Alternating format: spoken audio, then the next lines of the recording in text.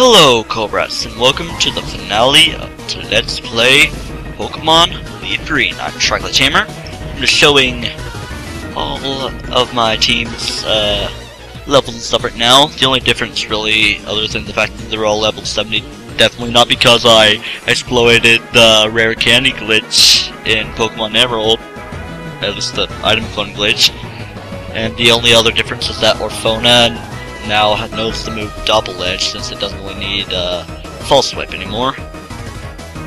So now we are rematching Lorelei. What I'm doing right here is using a bunch of bulk up so I can basically sweep through the team again like I did in the first time we came through here. I actually did have another failed take on the Jynx again because kept using Lovely Kiss and everything. It's been annoying, and now a new team member for Lorelei is Piloswine, the evolution to Swinub, which I caught in the Icefall Cave. It could pose a little bit of a threat if it what if it could have been a Mamoswine, but that was introduced in Generation 4. And the Cloyster gave me a little bit of trouble in the in the failed attempt, but I swept through it with one hit because of an extra bulk up or two that I did, and it was pretty close, and I took out the Jynx with a nice hefty Earthquake and Lapras, of course, will go down with a punch of Brick Break. I don't even know if that was supposed to be a pun. Or I guess it would be a punch. And now we are battling Bruno. We're just, uh, I only cut out a little bit of things, like the healing and um, the fact that, well, I keep in, like, the fact that they say something a little bit different every time you go up to an Elite Four member and stuff.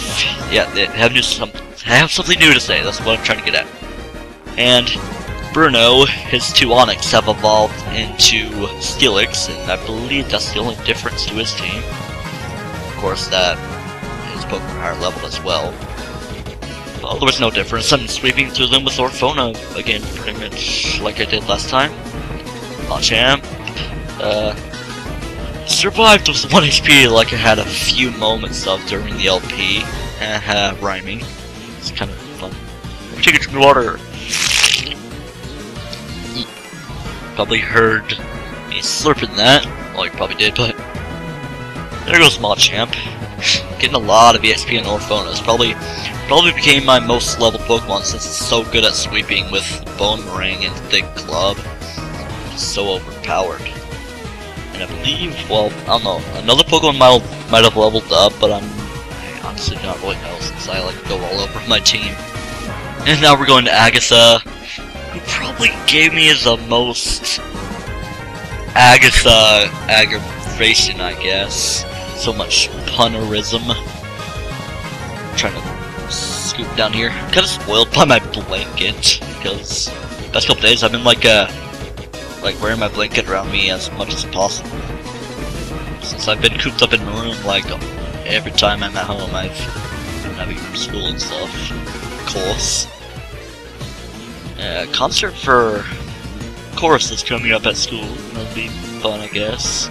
Well, yeah, concerts always fun since, you know, I enjoy singing. And of course, um, since Mists of Pandaria World of Warcraft is out, Tyler's gonna be busy playing that for a little while. We actually have some plans, but I'm gonna respect his love for the pandas and allow him to level up a couple characters to 90, then we can do the things we plan. And music change is awesome. Misdreavus, yeah, kind of gave me trouble because uh, I was nervous about. Actually, no, Manly Gaga was asleep. I actually didn't really pay attention to how it went, but in the end, but I took it out with the super charged surf, and a couple surfs would take out her Arbok. The Intimidate doesn't do anything. Went down just enough so that the second surf took It's like I'm commentating Wi-Fi battle of the bad way. Uh, at least I talked about some life stories. And too bad that was a critical hit. And if it wasn't critical hit, critical hit, critical strike on the topic of World of Warcraft, but um, If the Thunderbolt wasn't critted, probably would have survived and charged up the surf a little bit more and probably would have taken it out, but Mainly Gaga's here to shadow ball things up, and of course the leftovers are annoying because they take like 6 seconds to pass through, and then when I use a potion on Mainly Gaga takes so much time since it has so much HP! I was somewhat predicting that uh, I'd get paralyzed, but I didn't, so I wouldn't have had to use a full restore, and I got taken out by a psychic anyway. I want to, at least that Gengar's like not near as annoying, so to speak. And, wow, I just realized that that music didn't really last for long compared to these other songs. But, oh yeah, her Golbat evolved into Crobat because, you know, Johto Pokemon and stuff. You Pokedex. And now we're going to Lance. Probably the most, uh, epic of the battles, in my opinion. Like, the champion battle is pretty good, but I've had some pretty good moments in this battle right here, like, it's just, it's just so even, yeah. Plus Stutter, it means it's awesome. Hyper Beam plays a big part, does a lot of damage, but, of course, yeah, it's gonna have to wait a turn to recharge, and gives Orphona a few good chances, and my other Pokemon using, Kingdra, kind of gave me a little bit of a, a little bit of a tango here. Thinking of something else to say. Well, I just did two videos today. I believe, yeah, two videos. Episode 9 of Superstar Saga, and episode 34 of this, where I went on that big ramble. And right here, look. It was defrosted.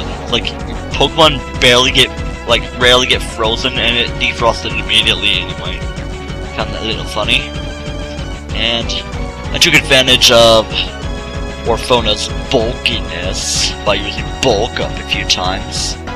And also taking advantage of the amount of uh, Dragon Dance. So I was wiping a little bit of spit off my screen since like I'm like a foot away from my laptop screen looking at the video playing his stuff. And here's Dragonite, of course, with Flamethrower. But, like, okay, here's what it went to. Okay, I brought it to Red Health, used full restore, I wanted, I used Strength again, get it back to where it was. Then I decided to go for Strength again since I thought the Quick Claw would activate, but nope.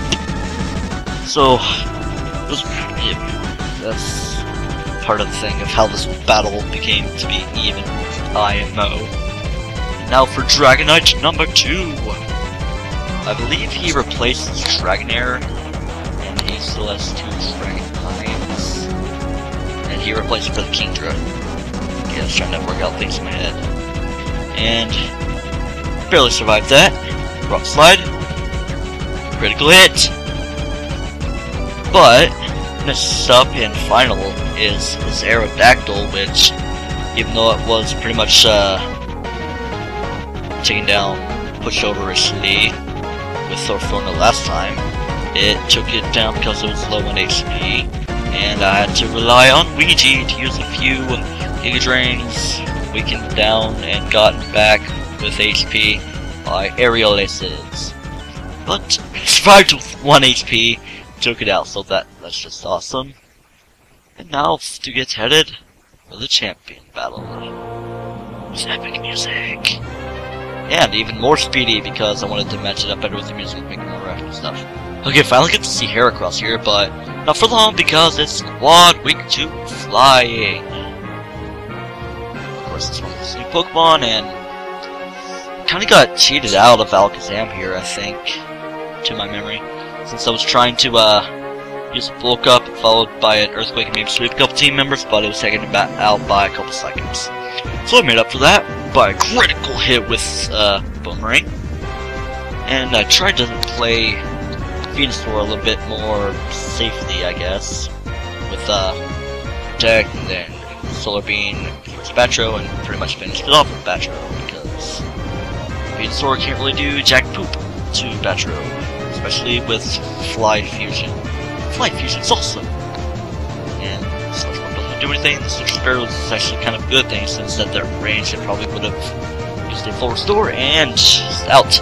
And here's another new Pokemon that I mentioned before, Tyranitar. Uh, remember that you can catch a Larvitar over at, around the Sevault Canyon. Made note of that, and it evolves into Tyranitar eventually at level 55 as a pseudo-legendary. an actual non-dragon Cyrodiil legendary. And coming up on this final two Pokemon, I believe. At least I'm Pokemon, like, surfacely. Okay, let's try again. And kind of the same as Lance Gyarados, using the Hyper Beam needs to be recharged and then taken about, taken about, yeah, about by a, uh, Slide and Arcanine. It's being finished up here. Gonna see if I could, like, put Ouija to a little bit of use, but it was just there as a decoy to suck up the special attack. Meowingug was just there to, uh... What was Meowingug in there for? Oh yeah, suck up another ounce special attack and maybe paralyze it because I wanted to give the biggest surf attack ever from Buddy, just like I did last time, I'm pretty sure. Or was it Arfona? Because I remember taking out, uh, Lane's Arcanine with... I, I know that Buddy was part of the original champion battle can't believe I get my straight, but another surf attack will do it in. But of course he uses full restore, but I use the bite attack. Yes, he uses the bite attack. He uses extreme speed on me. And awesome surf attack of awesomeness. And now that we have defended our title as the champion, we are now going to become the league champion again. And I'll see you with a little ending thing I made for you guys.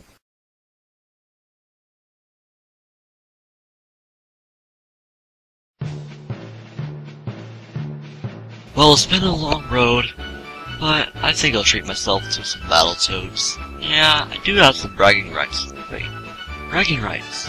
That's it! Okay, so only bragging rights, digger Pokemon names, I guess that's cool. Well, I bragged to someone. That's cool. Now to pursue my dream as a sailor. Let's do this. America!